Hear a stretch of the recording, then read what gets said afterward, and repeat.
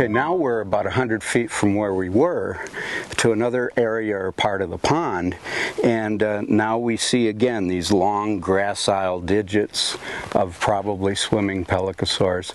And all of these slabs have broken off from the layer that you can see behind us. And uh, yet up here we get probably a different type of uh, imprint, and these may represent amphibians. And so you can kind of see the difference. I mean, if you had long gracile claws as the port, as uh, opposed to short stubby ones, mm -hmm. the kind of traces you're going to leave even on the bottom of the pond. So we can definitely see the difference between an amphibian and a reptile. Just by it, it, it, it's more tricky in, in this type of material than it is obviously when we've got them walking on the surface. surface. But uh, that's our best guess. We're here at a place that's called Beetle Hill, and we're looking at something that's virtually unique in the monument. If you go through the monument and you look at all the red layers of rock that have the tracks and the trails on them, you never find burrows, tunnels that were dug into the rock or into the sediment before it became rock. So what you don't see generally is evidence of animals and this would be insects, arthropods that were living in the sediment. And normally what you see in river settings or floodplain settings is you see a certain amount of animals that would burrow into the sediment looking for food. They're literally mining the sediment looking for organic debris, organic detritus.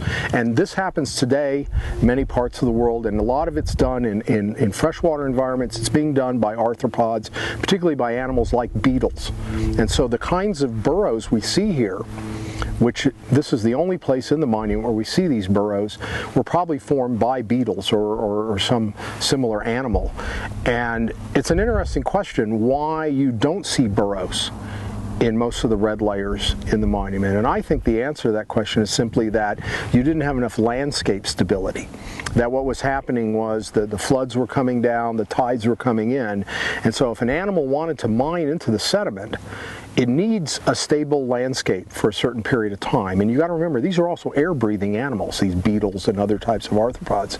So they can't burrow into the sediment and have a tide just show up or a flood just show up because they'll be drowned or buried, literally. So here, for some reason, in this one spot, there must have been enough landscape stability enough period of time during which a beetle, say, could burrow into the sediment looking for food, make its home, and not have to fear or not be wiped out by the next flood or the next tide. So this is really a unique trace fossil association or assemblage in the monument because here we see an actual, what we, we would call it an infauna, a fauna, a, gr a group of animals living in the sediment, an infauna, rather than what we normally see, which we would call an epifauna. These are the animals that are living the fauna uh, epi on top of the sediment. So we see all the walking traces of the arthropods, the beetles, the scorpions, but here we actually see a place where these animals were able to burrow into the sediment and successfully mine it for food.